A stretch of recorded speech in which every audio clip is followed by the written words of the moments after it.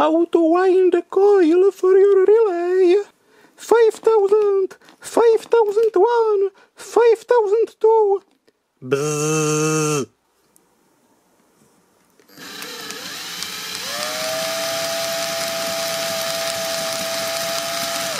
Ding! Just trying to comply with where it's all going. The brainless can't be excluded, so I'm showing